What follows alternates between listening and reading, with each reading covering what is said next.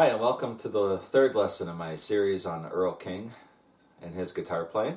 In this lesson, we're going to take a look at some of the chord progressions that Earl King used in his songs. If you're an experienced player and you know all your chords and you're comfortable with, I don't know, chord changes and you know all the different ways you can switch chords and different song patterns, and you may not find this too interesting. But if you're a, new player, beginner, or someone who hasn't been playing that long or who's new to the style, this is some really cool stuff. And when I listened to Earl King's guitar playing, that's one of the things that jumped out at me was how different his chord structures were in his songs. And it's nothing terribly complicated, it's just different. And so what I'm going to do is take you through five of Earl King's songs that have some really cool chord changes. And I'm going to show you what I'm talking about. The chords are all pretty simple. It's just the way that he uses them that's different.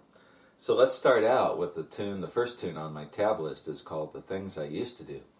And this is a standard blues tune that was done by Guitar Slim in the early 50s.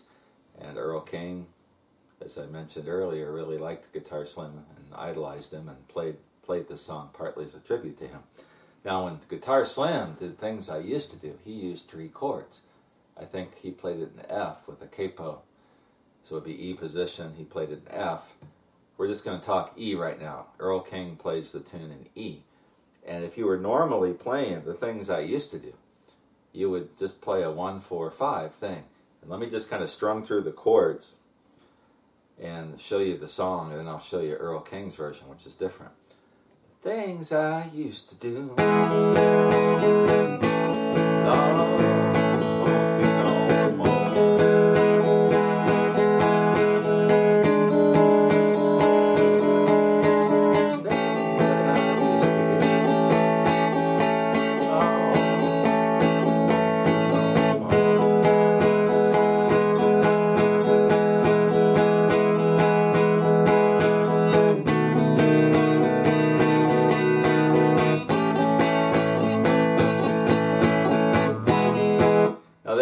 The difference is.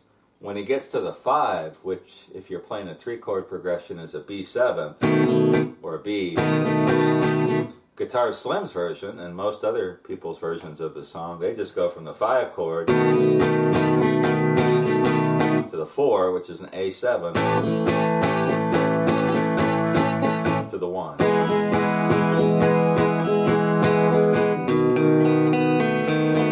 Have some kind of turnaround over the 5.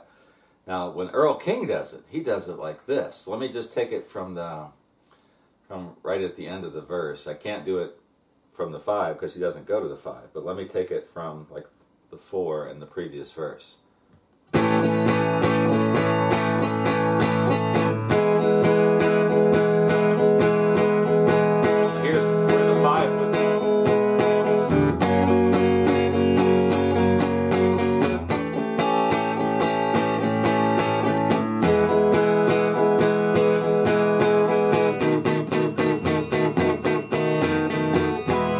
Instead of going to the five, four, one, Earl King does something totally different. He goes to the two, which is an F sharp. I'm just playing an F sharp bar chord, first position, and I'm strumming primarily the bass top four strings, bottom four strings, to give kind of a thicker sound. I can't tell exactly what he's playing on the recording, but it sounds like he's doing something similar. So it's like this.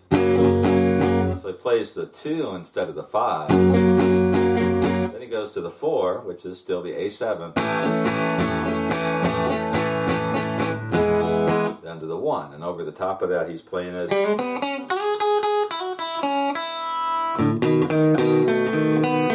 Or whatever he's playing on the turnaround. So there is an example of one of the chord variations in Earl King's playing. Now this may violate some copyright laws or of some kind. I hope it doesn't, and I'm sure I'll hear about it if it does. But I'm in the background, I'm going to play along to the Earl King version and show you what I'm talking about.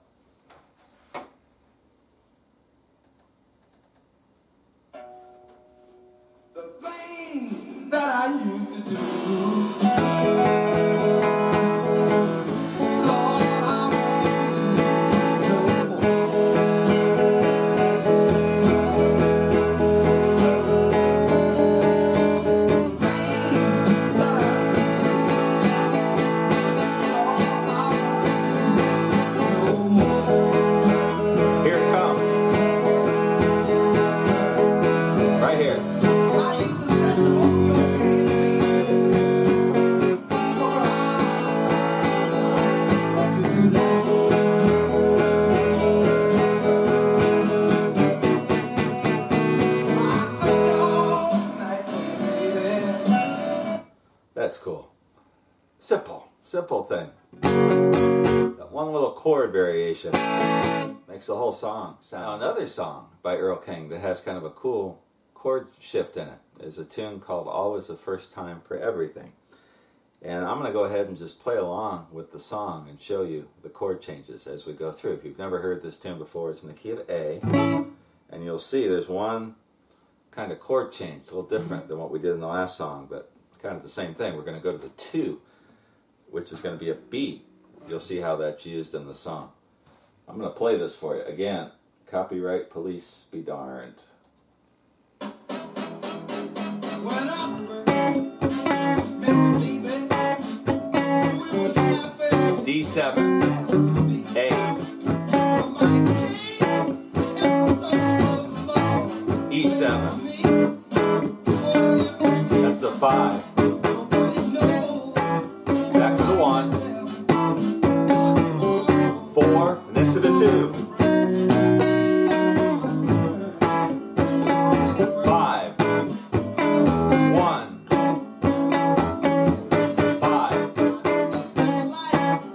One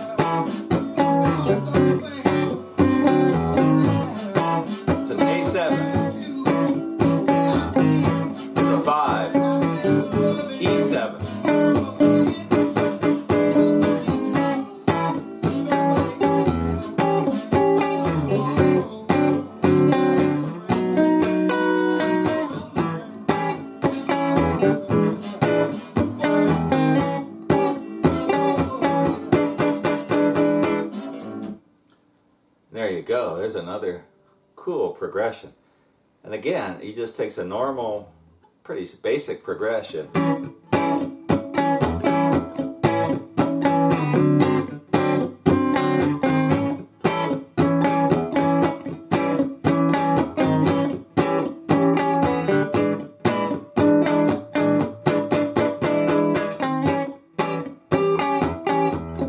Here's the change.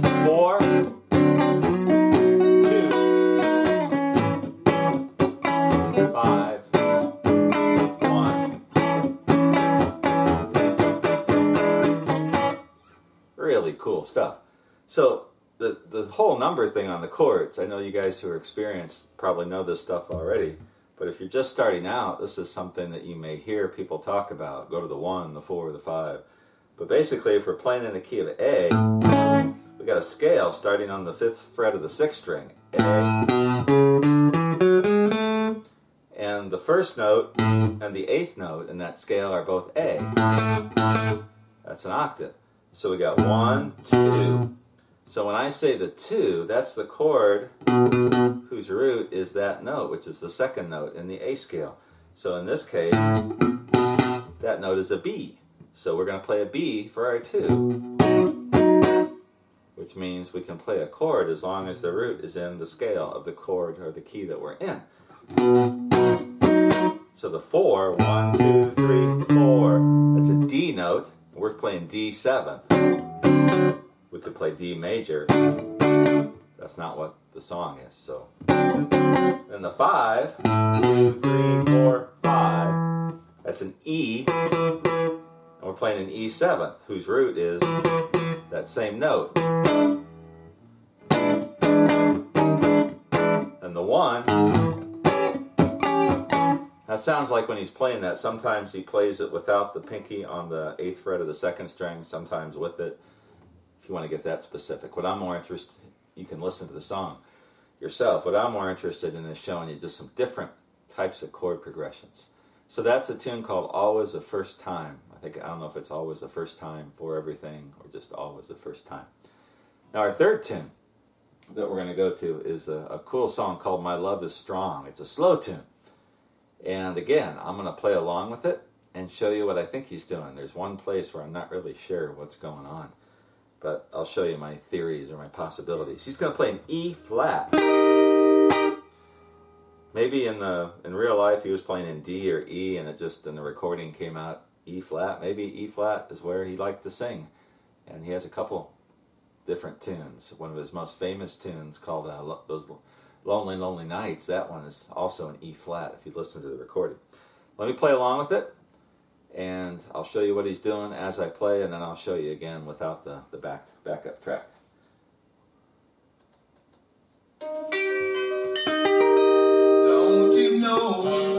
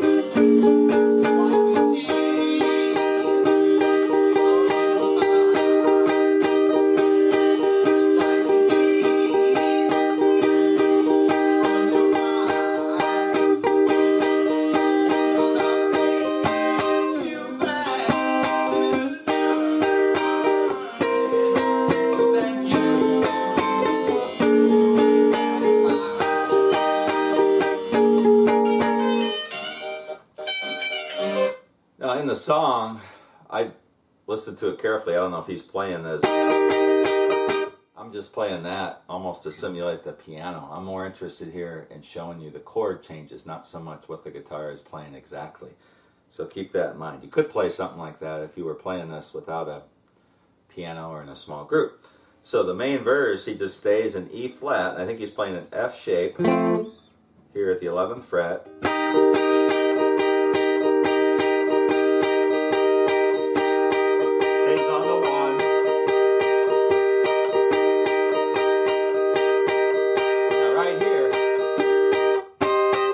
Sounds like he goes to an E6, and he just takes his E, F shape, E flat, and E flat six, I should say, and drops his pinky in on the 13th fret of the second string. And he kind of vamps it, so it's like this. Then he goes to a C minor, and I'm doing a C minor like this, where I'm just making my F shape, taking my second finger off, and then moving my first finger to get the top three strings at the eighth fret, first, second, and third string with my first finger, and then my ring finger is getting the tenth fret of the fourth string. It's a C minor. Now he may play, be playing it some other way, but that's what I'm hearing. There's other ways to play a C minor chord too, and who knows. So the tune, like this. Back to the E flat. And then he goes to the, the sixth, which is actually a C seventh. Same as this. But I hear it being played down here on the neck. Then he goes to the two, which is an F sharp. And then to the five, which is a. what is the five? Hang on. My love is strong. What is the five? The five, I'm just not thinking. It's a B flat seven. Same as this. Played with the C seventh shape. Then back to the one. To the five. So let me do that whole progression here. So he's on the one through the whole song. Da, da, da.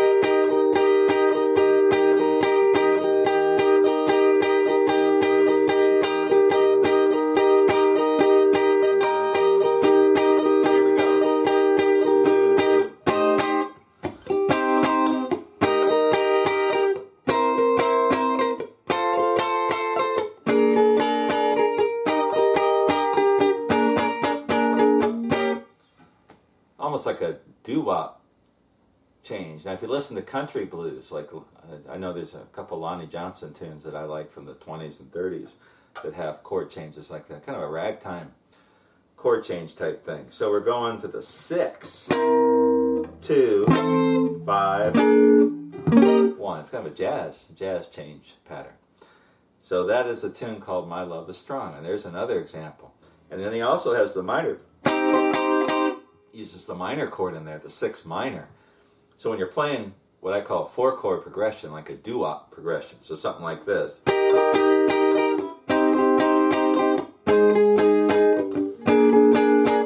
Like an old 50s tune. That's kind of where that comes in. The six is usually a minor. But you can also play the six as a seventh. Six, two, five, one. Six, two, five, there's another example. That tune is called My Love is Strong.